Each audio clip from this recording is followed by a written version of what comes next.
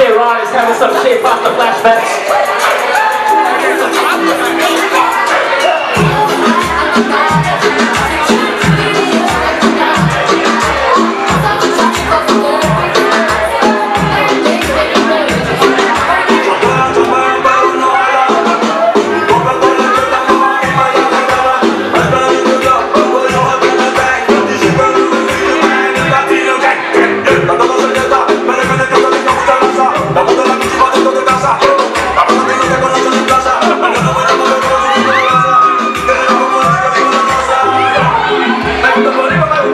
Tá com começando